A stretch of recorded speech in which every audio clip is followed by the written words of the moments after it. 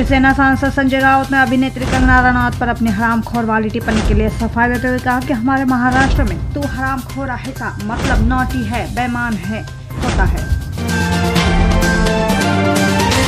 रविवार को दुबई से किसी अज्ञात व्यक्ति का मातोश्री पर दो बार फ़ोन आने के बाद राष्ट्रवादी कांग्रेस पार्टी के अध्यक्ष शरद पवार, राज्य के गृह मंत्री अनिल देशमुख और संजय राउत को भी एक ही नंबर से तकरीबन 25 फ़ोन आए। गृह मंत्री अनिल देशमुख ने यह जानकारी देते हुए कहा कि मुंबई क्राइम ब्रांच को मामले की जाँच सौंपी है। गरीबटका नारा घाट के पास एक बंद मकान का ताला तोड़कर अज्ञात चोरों ने नगद सहित चार लाख इक्कीस हज़ार रूपए का सामान चुरा लिया। फिर फिरियादी नागार्जुन कॉलोनी निवासी मयूर लाजवाब है।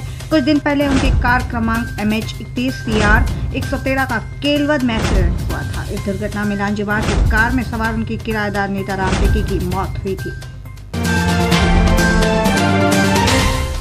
आंगनबाड़ियों में बच्चों को खिचड़ी परोसने वाली महिलाओं ने सोमवार को नारी रोज के उत्पादन पाटनकर चौक पर भीख मांगा। आंदोलन किया। महाराष्ट्र राज्य बचतगत महिला पोषण आहार आपूर्ति संगठन के तत्वावधान में महिलाओं ने भीख मांग कर सरकार की मनमानी का निषेध किया है।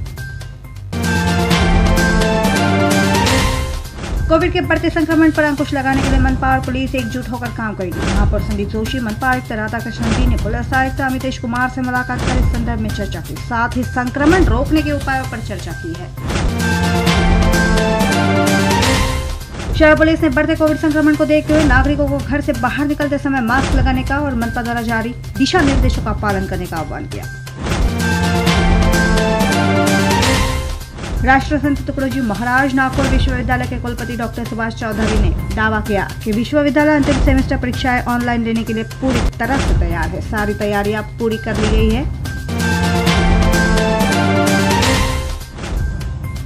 अपराधी संतोष अम्बेकर की इतवारी दरोड़कर रोड स्थित अनधिकृत दूसरी चार मंजिला नई इमारत तोड़ने की कार्रवाई सोमवार को मनपा तोड़ो दस्ते ने शुरू की है। यह इलाका घनी आबादी वाला होने से इमारत को ढहाने में पाँच छह दिन लग सकते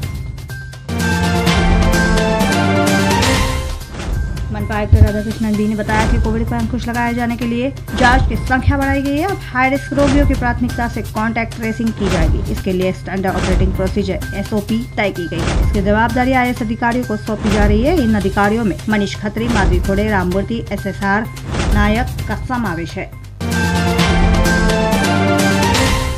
नागपुर ज़िले में कोविड संक्रमितों का आंकड़ा एक सौ इक्यासी, दिनों में इकतालीस हज़ार के पार पहुँच चुका। संक्रमण के एक दिन में नागपुर में संक्रमितों की संख्या पाँच हज़ार तीन सौ बयानवे पर पहुँच चुकी है, जबकि शेष 38 दिनों में पैंतीस हज़ार छह सौ चालीस संक्रमित मिले।